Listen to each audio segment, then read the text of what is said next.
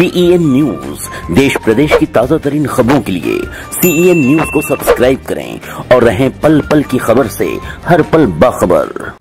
नमस्कार मैं हूँ राज पांडे आप देख रहे हैं सीएन न्यूज़ आइए देखते हैं आज की खास खबर।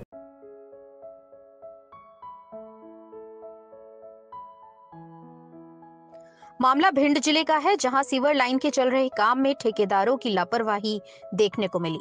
सीवर खुदाई का काम कर रही लेबर मिट्टी धसने के से सीवर में दबी आनंद फानन में नगर नगरवासियों की मदद से उन्हें निकाला गया घायलों को जिला चिकित्सालय भेजा गया